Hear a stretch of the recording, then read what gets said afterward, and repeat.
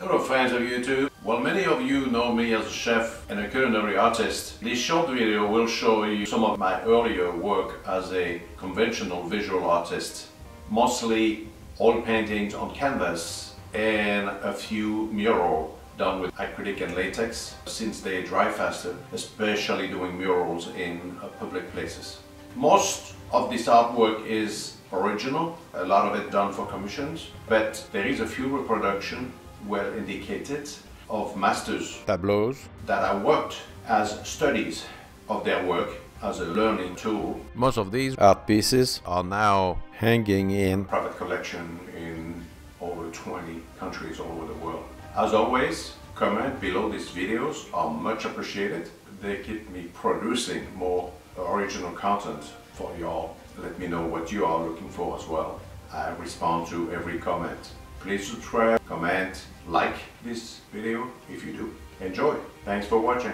Thanks for watching. Thanks for watching. I also think that by showing you my fine art work, you may better understand where I'm coming from with my food and or edible material art. The question is, am I a creative chef or an artist creating fine art with edible material? Watch this entire short video and you will be the judge. Take a look at my food art videos too, so you can have the full picture, pun intended. I would love to hear your thoughts in the comment section below this video. Now without further ado, let's look at some artwork. This painting was commissioned by a Houston architect. The few next paintings were painted during my time spent working as a culinarian in Bermuda. While this video focuses on oil paint on canvas, I have worked with many other non-edible mediums. The historical place of St. George, Bermuda. The Waterloo Inn, Bermuda, you can see a portion of the Fairmont Southampton in the background.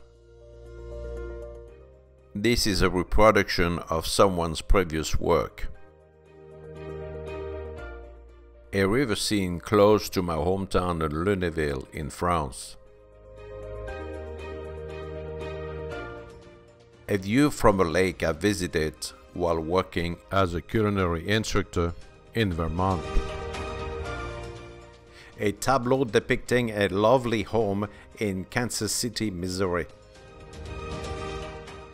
I also got inspired by the beautiful sceneries in Canada while I worked there. I painted this view of the town of Horb am Neckar during my military service there, the son of a friend of mine who left this world way too soon. While painting many different subject matters, I developed an affinity for portraits. Portraiture soon became my main source for commission work. For full-length portraits, I try to place the subject in a familiar surrounding with pets or with particular clothing or outfit, adding to their personality and character.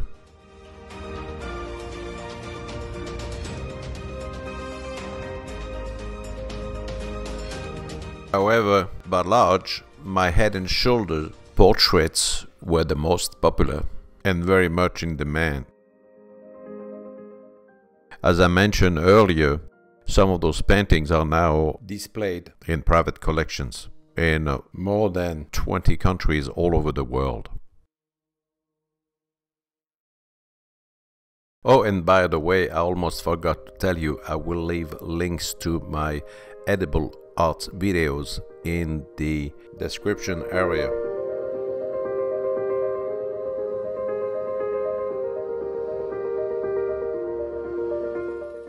Shirley worked at the same Southampton Princess Hotel, now the Fairmont Southampton in Bermuda when I was working there. Nicole was my best friend's sister and neighbor when I was growing up. This young lady definitely wanted a best friend to be part of this double portrait. And many more portraits of real people sitting on my favorite easel.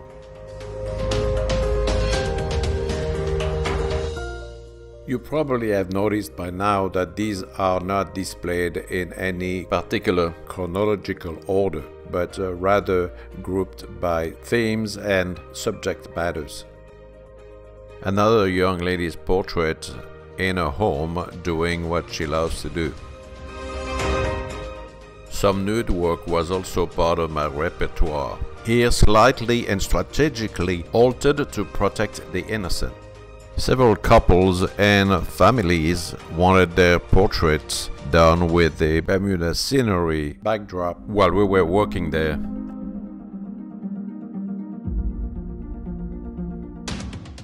Michael Jordan's portrait was also a commission. My younger brother Eric and his wife Marie-Jeanne commissioned me to do this painting. This was also a commission and I looked at it as a study of the artist's work. Upon closing of the French garrison, this painting was given to the mayor of the city of Ob am Neckar in Black Forest, Germany. This is painted with thick layer of paint using palette knives. I also enjoyed painting many still lifes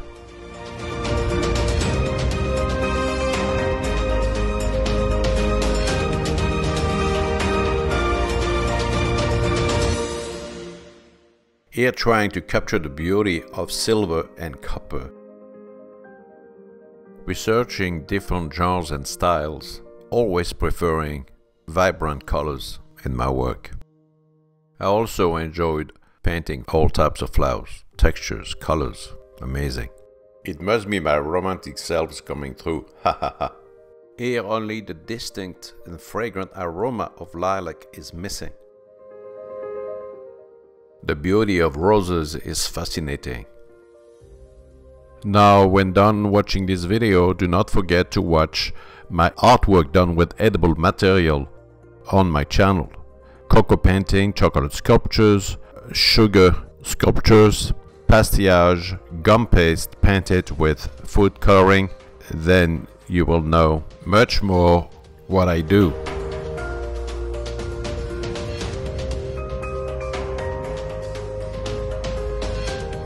Now come the murals. As I announced earlier, I switched to acrylic and latex for murals since they dry much faster, especially in public areas such as in this pool. You want the paint to dry quickly.